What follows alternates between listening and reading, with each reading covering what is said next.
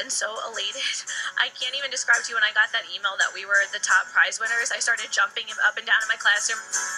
We're just here today because we just want to celebrate the culmination of what has been a really incredible season for our Charity Champions competition. We're the grand prize Nassau County winners. We got a $5,000 check that we will be giving to Tuesday's Children.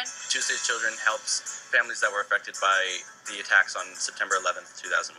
I think that the message that this sends to the kids is that we can make a difference and that even though that we're so small, we are doing really amazing things here at Carle Place High School. Battle of the Classes Battling for a Cause is by far the biggest event that we do all school year. Oh, it's exhilarating. Uh, to walk into a gymnasium full of hundreds of students, uh, all for such a great cause, is something that's unforgettable. Seeing everyone's faces light up when they're participating in the events and the end of the night when they announce how much money we've raised, it's gratifying. But Battle of the Classes is not the only fundraiser these dedicated high school students support throughout the year.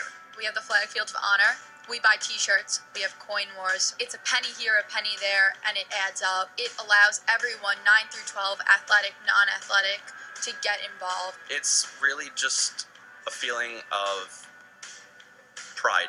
Uh, that's the best thing to say. Uh, we're such a small community, and to be such a small community and be able to do what we do is just something that I'm so proud to be a part of. It surprises me not at all. Carle Place is an amazing community of people who are coming together to support each other. Makes me so proud to see, uh, you know, our Carle Place students understanding the importance of, of giving back in the way that they are. When other people pitch in, like charity champions have, you see that the impact you have goes so much further than your community. Being honored as the charity champions, um, it's just you know you don't expect that when when you do what you do, and to receive that honor is just so meaningful. Charity champions.